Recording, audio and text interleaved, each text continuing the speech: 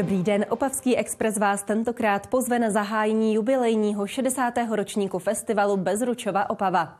Vypravíme se také za netopíry a představíme vám sběratele Milana Martínka. Tak se dívejte. Začal multižánrový festival Bezručova Opava. Během tohoto měsíce nabídne divákům víc jak šest desítek zajímavých akcí, nejrůznějších žánrů. Film, divadlo, výstavy, koncerty, přednášky nebo autorská čtení. Letošní ročník je jubilejní, 60. Ještě než vám ukážeme jeviště v kostele svatého Václava, kde zahájení festivalu probíhalo, zastavíme se v zákulisí, kde vrcholila příprava. Žáci základní umělecké školy totiž otevírali letošní festival Pavím defilé a připravili nádherné kostýmy. Ty odkazují na legendu o vzniku názvu města, kdy se dva pánové hádali o páva. Skrz tady pověst o Opavě nás napadlo využít symbol páva, a jak můžete tady vidět, tak eh, jsme vytvořili průvod Pávic. Ten zahájil festival Bezručova Opava, který je už po šest desetiletí spjatý s koncerty, výstavami, filmem i divadlem a také s babím létem. Bezručova Opava je nejstarším festivalem v Opavě, je to 60 let, takže je to opravdu významný festival. Právě proto, že máme jubilejní ročník, tak jsme ho nazvali Síla tradice, takže všechno je spíše archaické, ohlížíme se do minulosti na významné postavy nejen eh, opavské a sleské kultury. A protože letos uplyne také 150 let od narození Petra Bezruče, po němž nese festival jméno, je několik pořadů věnováno také tomuto sleskému bardovi. Ještě předtím ale byla zahájena v Domě umění výstava Združení českých umělců grafiků Holar, které zde představuje průřez současnou tvorbou prezentovanou začínajícími výtvarníky i zkušenými umělci. Je tu asi 100-120 různých grafik, které lidem ukazují za prvé generační různorodost holaru. Kromě toho vystavuje v Domě umění také bulharská výtvarnice Mimoza Bocin. Obdivovat můžete i krásu jemné paličkované krajky Karly Klusoňové. Historii festivalu Bezručova Opava si pak můžete připomenout na plakátech, které návštěvníky na jednotlivé ročníky zvali. Další akce najdete také v programovém biltenu, na webových stránkách města či na Facebooku.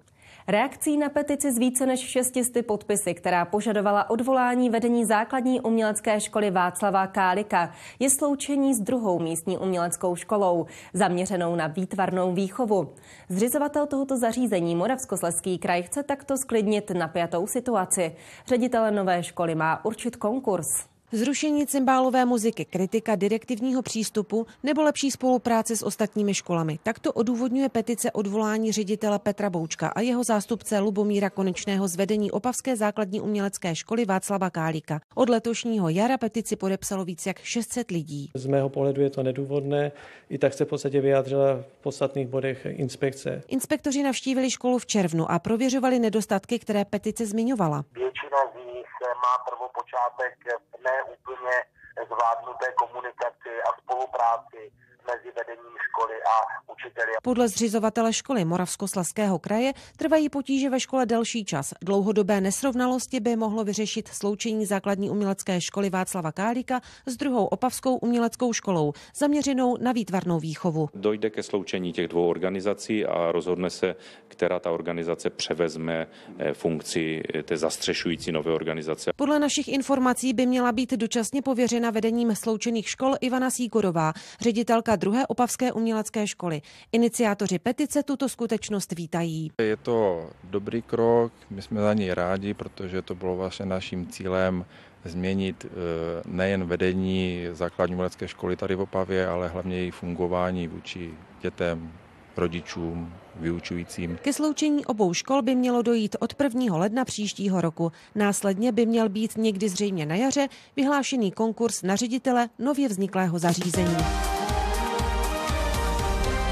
Občané si přejí oživit prostor za Slezankou. Vyplývá to z ankety Fóra zdravého města. Kromě toho je trápí také Dukelská kasárna nebo neopravené školy. Hlasování se zúčastnilo 616 respondentů prostřednictvím webových stránek či měsíčníků Hláska. Zpráva železniční dopravní cesty, která je nově vlastníkem železničních budov, připravila plán rekonstrukce nádražních objektů. Opravy se dočká také železniční stanice Opava Východ, Opava Komárov a Opava Západ. Tady začne rekonstrukce v roce 2019 a bude stát 630 milionů korun. Během září přibudou na přechodech pro chodce v místní části Malého Štice semafory. Zdejší ulice Opavská je totiž hlavním tahem na Hlučín a provoz je tady opravdu velký. Dosud museli dohlížet zejména na bezpečnost školáků, strážci přechodů. Noc pro netopíry představila návštěvníkům Sleského zemského muzea tohoto pozoruhodného nočního tvora. A nejen to, ti odvážnější si mohli zkusit mláďata jediného létajícího savce, žijícího u nás nakrmit. Přelom léta a podzimu je pro netopíry časem, kdy si začínají pomalu hledat svá zimoviště. Seznamte se, jsem netopír. Přestože jsem savec, umím skvěle létat. Vidím sice velmi špatně, o to lépe slyším. Moje uši fungují jako sonar. Žiju v noci. Prospím polovinu svého života, který může trvat i tři desetiletí. Jsem chráněný. To je jen zlomek informací, které se mohli dozvědět návštěvníci Mezinárodní noci netopírů ve Sleském zemském muzeu. Tato akce má za cíl přiblížit lidem tato pozoruhodná zvířata. Netopíři jsou fascinující tvorové, že už tím, že jsou, jsou vzhůru, když my nejsme vzhůru. Přišli jsme kvůli synovi, protože se zajímá o zvířata. Během přednášky specialisty na netopíry Martina Gajdošíka se mohli posluchači dozvědět mnoho zajímavostí, třeba také to, zda netopír skutečně saje lidem krev. Krev sají ze všech Eh, druhů netopíru světa, kterých je kolem dvou tisíc, už dneska popsaných, tak pouze tři druhy a z toho dva z těchto druhů sajou pouze krev ptáků. Ten třetí druh, který saje krev i savců, tak má daleko raději krev hovězího dobytka nebo prasete než člověka. Protože velkou část návštěvníků tvořili děti, připravili pro ně pracovníci muzea spoustu her a soutěží. Snažíme se přiblížit život netopíru hravou formou. Ale samozřejmě nejvíce se děti těšily na netopíry samotné. Některé už se s těmito létajícími savci setkali, mnohé je ale spatřili poprvé. My jsme se dívali na nebe u nás u babičky a viděli jsme netopíry. Půjdu si prohlídnout vycpaného netopíra, když jsem neviděla do, do opravdického. Překvapením nejen pro děti bylo několik nedávno narozených mláďat netopíra, která si mohli návštěvníci zkusit sami nakrmit a pak je vypustit na večerní oblohu. Stovku historických vojenských přilep i čepic čítá sbírka Milan Martínka. Tento sběratel z Opavy se zajímá o období druhé světové války. Kolekce obsahuje nejen ocelové přilby, ale také třeba námořnické, či kozácké čapky nebo i klobouky. Část této soukromé sbírky můžete nyní vidět na zámku v Neplachovicích. Zálibu pro vojenské pokrývky hlavy v sobě objevil Milan Martínek před deseti lety, a to zcela náhodou. Moji první přilbu jsem dostal od bratra. Byl to dárek mým 40. narozeninám a byla to přilba, kterou používala Československá lidová armáda, konkrétně to byla přilba vzor 53. Dárek, který měl být spíš jen vtipem, rozdmíchal zájem Milana Martínka o vojenské ochranné přilby. Začal se soustředit na druhou světovou válku. Dnes má ve své sbírce pokrývky hlavy všech zásadních účastníků tohoto vojenského konfliktu. Tato přilba ke mně doputovala z největší dálky, konkrétně z Japonska.